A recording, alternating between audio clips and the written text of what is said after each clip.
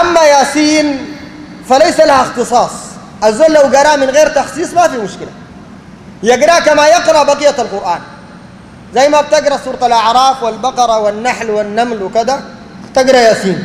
لكن كونه ياسين عندها فضل خاص لا.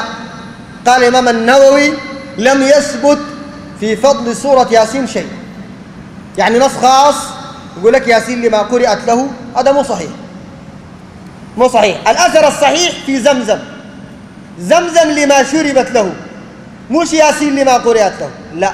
زمزم لما شربت له. فمن شرب ماء زمزم للشفاء شفي بإذن الله. ومن شرب ماء زمزم للنجاح نجح بإذن الله. ومن شربها للصحة والعافية زاد جسمه. وهكذا. ونصها صحيح. صح الشيخ الألباني رحمه الله. فزمزم لما شربت له. لكن ياسين لما له مو صحيح.